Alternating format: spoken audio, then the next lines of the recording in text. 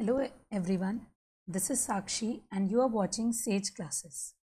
In the last video हमने पढ़ा था नॉन प्रॉफिट ऑर्गेनाइजेशन के बारे में कि not for profit organisation profit earn करने के लिए वर्क नहीं करती है। नॉट फॉर प्रॉफिट ऑर्गेनाइजेशन काम करती है सोशल वेलफेयर के लिए। That is for the benefit of the society या लोगों के भले के लिए। जो लोग नीडी होते हैं जिन्हें ज़रूरत होती है फॉर देम उनका एम प्रॉफिट मोटिव नहीं होता देन हमने डिस्कस किया था रिसिप्ट एंड पेमेंट अकाउंट के बारे में। मैंने आप लोग को बताया था कि receipt and payment account is like cash book हमने क्लास इलेवेंथ में कैश बुक बनानी सीखी थी।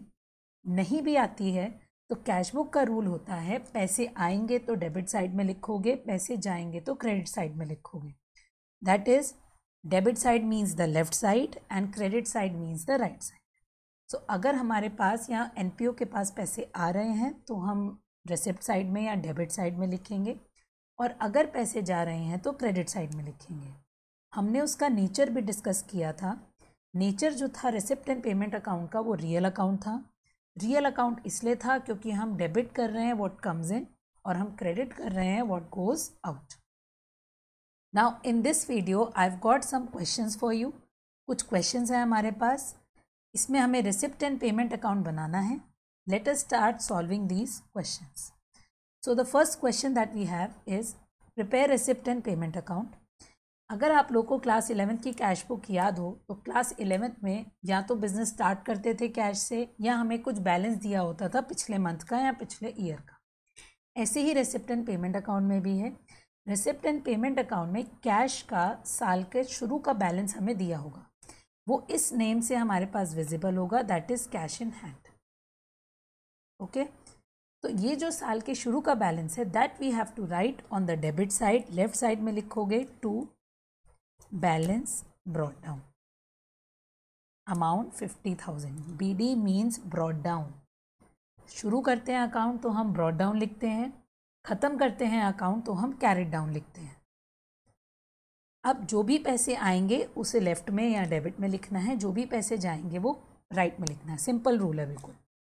सब्सक्रिप्शंस सब्सक्रिप्शन जो होता है, वो एनपीओ की इनकम होती है, ठीक है? दैट इज़ मंथली लाइक हम कोई क्लब या कोई जिम ज्वाइन करते हैं तो उससे जो पैसे मिलते हैं जिम को या क्लब को that is subscription so subscription हमारी इनकम होती है। We will write on the debit side to subscription amount is one lakh twenty thousand फिर हमें दे रखा है रेंट सैलरी रेंट और सैलरी अगर कुछ भी नहीं लिखा होता तो अकाउंट्स का रूल ये होता है कि हम उसे पेड मानते हैं। अगर रिसीव्ड होगा तो क्वेश्चन में लिखा होगा कि रिसीव्ड है। तो यहाँ रेंट और सैलरी हमने पे करी है। बिकॉज़ हम पेमेंट कर रहे हैं will write on the payment side by rent amount is ten thousand then by salary amount is twenty thousand okay? Then again electricity electricity भी हमने पेमेंट की है इलेक्ट्रिसिटी का बिल पे किया है। सो so, हम लिखेंगे क्रेडिट साइड में by electricity five thousand donations अब यहाँ ये एनपीओ है, हम डोनेशन पे नहीं कर रहे हैं हमें डोनेशन मिलेगी। So again that is our income हमें डोनेशन मिल रही है। अगर हमें डोनेशन मिल रही है we'll write to donation and we'll write the amount one lakh ठीक है then we have life membership fees life membership fees भी हमें मिल रही है। कोई ऐसा पर्सन है जो पूरी लाइफ के लिए NPO का मेंबर बन गया है। उसके लिए उन्होंने पेमेंट करी है। तो हमें रिसीव हुई है वो payment so will write on the debit side to life membership fees ten thousand then ten percent fix deposit purchased हमने फिक्स डिपॉजिट खरीदे हैं। अगर हमने खरीदे हैं तो हमने पेमेंट की होगी। पेमेंट की होगी that means cash is going out will write on the credit side by ten percent fixed deposit amount is thirty thousand sale of investment कोई भी चीज़ बेचोगे तो पैसा मिलेगा राइट? तो डेबिट साइड में लिखोगे to sale of investment the amount is 5000 sale of old newspaper again sale कर रहे हो सेल कर रहे हो तो हमारी इनकम है you will write to sale of old newspaper amount is twenty thousand फिर हमारे पास है हॉनोरेरियम हॉनोरेरियम का पहले मीनिंग समझो। अगर कोई गेस्ट आता है not not for profit organisation में कोई लेक्चर देता है या कुछ सिखाता है उनके लिए जो हम थोड़ा सा उन्हें ग्रीट करते हैं लाइक हम उन्हें कंबल दे रहे हैं या उन्हें बुके दे रहे हैं या शॉल गिफ्ट कर रहे हैं दैट इज़ ऑनोरेरियम या उन्हें पेमेंट कर रहे हैं in the form of cash so that is honorarium you will write on the credit side by honorarium amount is six thousand अब हमने पुट कर लिया है, अब हमें कैलकुलेशंस करनी है। कैलकुलेशन कैसे करोगे? रेसिप्ट के अमाउंट का टोटल अलग करना है पेमेंट के अमाउंट का टोटल अलग करना है। दैट इज़ पहले हम डेबिट साइड का टोटल करेंगे। If you will do the total of debit side you will get three lakh five thousand left side का टोटल करोगे तो थ्री लैख फाइव थाउज़ेंड आएगा। सिमिलरली हम क्रेडिट साइड का टोटल करेंगे। If will do the total of credit side we will get seventy one thousand you will subtract, okay? So 3 lakh 5000 minus 71000 you will get the answer as 2 lakh 34000 हमने साल के शुरू में हमारे पास पचास हज़ार रुपये थे। हमें कुछ पैसे मिले। हमने कुछ पैसे खर्च कर दिए। साल के आखिर में हमारे पास two lakh thirty four thousand rupees बचे हैं। So how you will write it you will write by balance carry down two lakh thirty four thousand account शुरू करते हैं तो ब्रॉड डाउन लिखते हैं। अकाउंट ख़त्म करते हैं then we write carry down अब हम दोनों साइड में टोटल वो लिखते हैं, ये तो क्लास इलेवेंथ का रूल है, जो टोटल बड़ा होता है वो टोटल दोनों साइड पे लिख, लिखते हैं।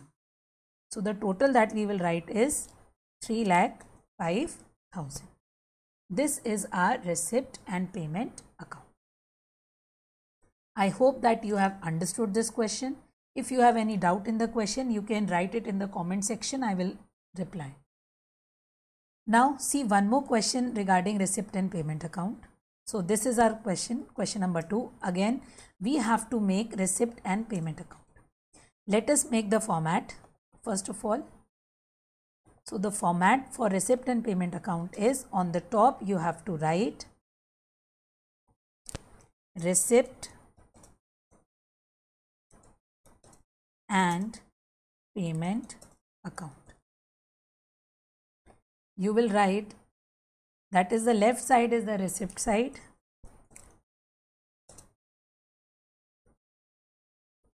And right side is the payment side. Again we will start see question के स्टार्टिंग में अगेन हमें क्या गिवन है? हमें ओपनिंग कैश और कैश इन हैंड और कैश एट बैंक दोनों गिवन है राइट सो हम उसे कैसे लिखेंगे? You will write here to balance brought down last question में भी हमने ऐसी लिखा था इफ़ यू रिमेंबर पर वहाँ सिर्फ़ कैश का बैलेंस था। सो so, हम इसे सेपरेट करके लिख देंगे। Cash in hand and cash at bank जो भी साल के शुरू का बैलेंस है कैश या bank that will be put on the debit side so we have eight hundred and we have two thousand then we have subscriptions again I told you last question में मैंने आप लोग को बताया था subscription हमारी income है। NPO के अकॉर्डिंग हमें सोचना है। So we will write here to subscription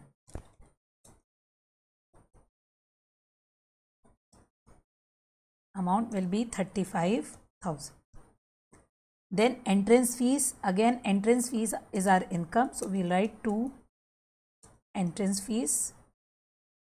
We have 3000 then we have telephone charges अब टेलीफोन चार्जेस का मतलब है हमने पेमेंट करी है। अगर हमने पेमेंट करी है will write on the credit side by telephone charges amount is sixteen hundred postage again postage भी हमारा एक्सपेंस है। हमने परचेज किया है postage so will write by postage amount is six hundred newspaper newspaper भी हमारा खर्चा है। हमने न्यूज़पेपर ख़रीदे हैं। आई टोल्ड यू अगर बेचा होगा तो क्वेश्चन में स्पेसिफिकली मैंशनड होगा कि सेल है।